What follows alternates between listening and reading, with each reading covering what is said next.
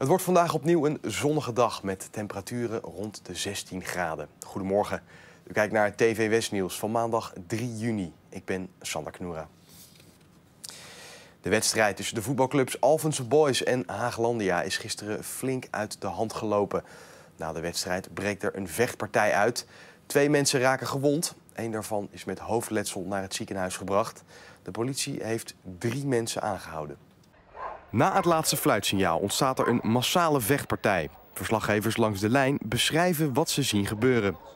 Ongelooflijk is dit nou nodig. En er wordt geknopt. Oh, daar gaan supporters zich mee bemoeien. Dit is toch niet de bedoeling, mensen.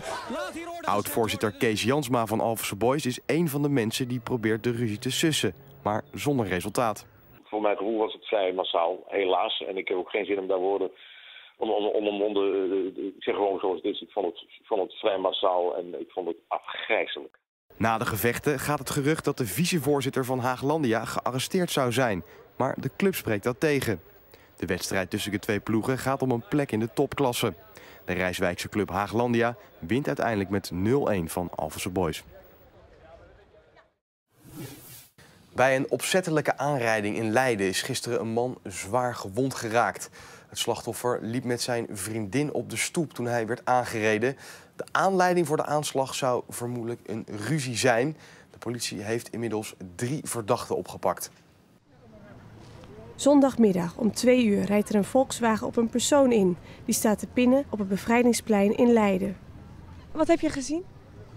Um, dat er een auto hier aan kwam rijden, keihard gas heeft gegeven. En die heeft een man die hier samen met zijn vriendin stond te pinnen, uh, ja, tegen de muur aangereden, geramd, zeg maar.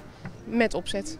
Met opzet? Ja, anders geef je niet gas, draai je niet je stuur in en zorg je dat hier klem komt te zitten tussen een muur en een... Uh, Wat deed de bestuurder daarna?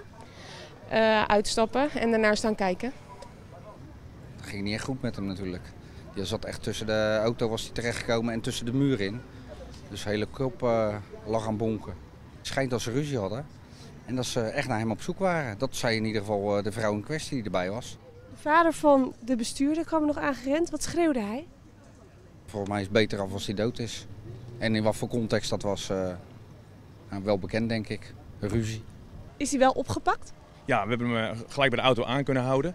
Dus ja, het onderzoek is nu. Hij zit nu vast op, op het bureau in Leiden. En we gaan kijken wat hij hierover te vertellen heeft.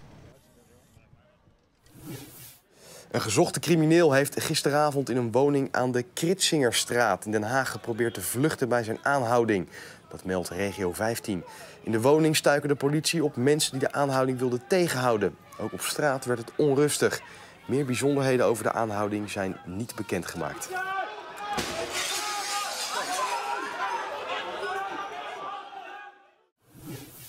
De honden van Den Haag en omstreken konden zich dit weekend eens flink uitleven op een speciaal voor hun georganiseerd festival.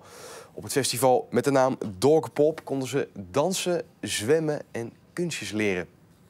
Ze gaat weer in de buig, blijft in de buig.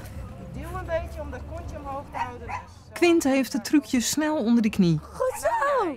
Goed zo! En op Dogpop kunnen alle hondjes trucjes leren en zelfs leren dansen.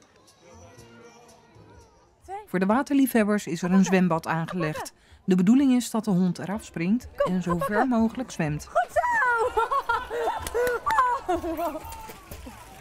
Kom, kom, kom, kom. Goed zo! Dan een tweede poging. Um, ik denk dat de eerste gelukstreffer was. En toen schrok ze zo erg dat ze gelijk naar me toe kwam zwemmen, maar ik denk het niet. Misschien nog één voorpootje, maar dat is het maximale. Ruim 700 vechtsportliefhebbers waren dit weekend naar Kijkduin gekomen om de Europese Thai-box top te zien. Op het complex van Fight Club 070 vochten zij om de Europese titel. Dit is Tovik Azagwa. Hij is 16 jaar en speelt voor het laatste jaar bij de junioren. Hij wordt de belofte van Nederland genoemd. Dus gewoon hard trainen, gewoon blijven winnen. Ja, en uh, later ga ik gewoon naar, naar het grote jongens toe. En wat is nou het verschil tussen die junioren en die senioren? Ja, de junior is wat lichter. Dus, uh, de rondes zijn wat korter dan de andere rondes. En het vraagt uh, natuurlijk veel conditie. Ja, en voor de rest is het gewoon spelen. Blijven spelen. Vechtsport wordt vaak in verband gebracht met agressiviteit. Naomi Muller doet daar haar voordeel mee. Vroeger was ik best wel agressief en uh, ja, ben ik een beetje verkeerde pot op gegaan. Veel verkeerde vrienden, heel veel in aanraking uh, met jeugdinstanties en met politie en dat soort dingen. Heel vaak uh, van school verwisseld. En dankzij deze sport ben ik toch ook wel echt het goede pad op gegaan. Trappen, trappen, Het jaarlijkse ADO Den Haag jeugdtoernooi is gewonnen door favoriet Mexico. De afgelopen dagen waren de beste jeugdvoetballers uit de wereld te zien in het Haagse Kyocera-stadion. Een van de deelnemers is het nationale team van Mexico, de regerend wereldkampioen voor voetballers tot en met 19 jaar. ADO Den Haag A1 is de grote underdog en verliest alle vier de wedstrijden zonder ook maar één keer te scoren. Het toernooi wordt dit jaar voor het eerst niet in het Zuiderpark gespeeld en verloopt goed. Ik hoor ook alleen maar uh, positieve geluiden van andere mensen. Uh, voetbaltechnisch gezien voor ADO uh, moet ik zeggen dat, dat, het niet zo loopt zoals we van tevoren hadden bedacht. Aan de andere kant spelen wij met het elftal van volgend jaar. Om die gasten alvast aan elkaar te laten wennen. Omdat we toch een x-aantal nieuwe spelers erbij hebben. En we zijn ook het jongste ploegje van het toernooi. Dus sportief niet zo, maar opleidingstechnisch gezien prima. Aan het toernooi doen onder andere Swansea City, Club Brugge en Schotland mee. Ja, dan kijken we nog even wat er in de kranten staat vanmorgen. De Telegraaf schrijft op de voorpagina dat de NS gaat stoppen met de Vira...